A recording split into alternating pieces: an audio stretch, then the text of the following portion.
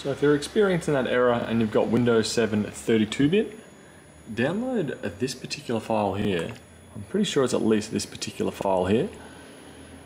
You may have to install Google Chrome or another web browser or download it from another PC to be able to actually get it. Um, but I'll get this downloaded and we'll install it.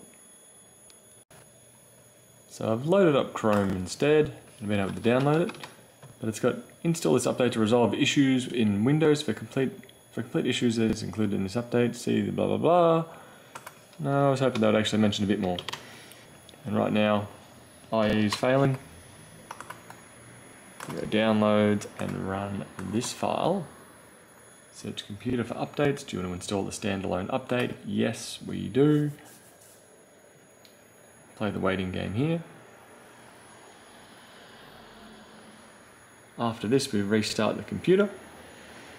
And as I mentioned, if you're running the 32-bit version of Windows, which should say 32-bit operating system, this is the particular fix you will need to run.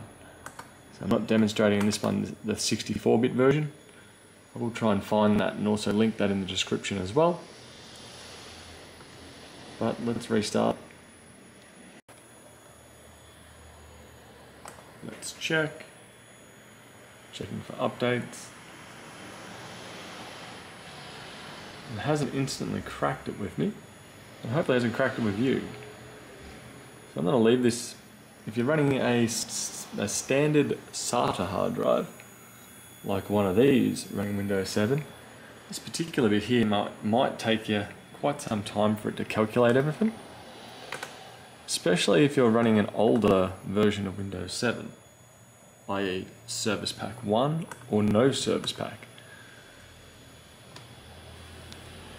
And with a little bit of waiting, yeah, so we have various updates. You may have to install these in smaller batches. It's fine if you try to install all of them at once. It tends to lose its mind a little bit, so you might have to install like 20, 30, 40 of them at once. Same with the optional updates. And hopefully from there you can get your Windows 7 32-bit all updated and functional once more. Hope this helps and see you later.